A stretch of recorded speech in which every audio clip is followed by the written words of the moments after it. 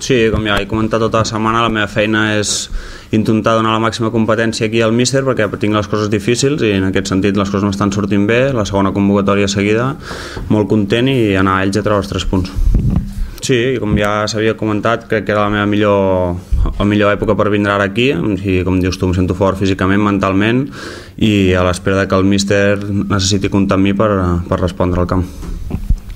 Sí, sí, a mi em, em motiva cada diumenge, cada entrenament, em motiva, em motiva tot i la veritat és que intentarem seguir la línia que portem com fins ara per intentar treure alguna positiu d'allà a Elche. No, doncs com, com portem ara fins ara, molta intensitat, concentració, eh, cometre els, els menors errors possibles i aprofitar les nostres virtuts i, com hem dit abans, doncs, per intentar treure els tres punts com sigui, perquè serien molt importants per nosaltres. Sí, seria molt important perquè l'equip està treballant molt bé, amb moltes ganes, les coses estan sortint poquet a poquet bastant bé i crec que seria una bona recompensa anar a un camp com a ells a aconseguir la victòria.